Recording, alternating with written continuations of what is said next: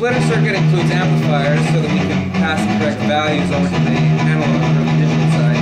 So hear those cut out. It's a very clean transition. There's no noise in that area, so it's just color to tone.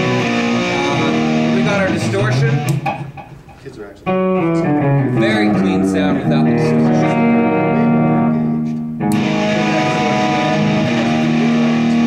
Then our compressor improves the sustain, gets a much meatier sound. Use the meat.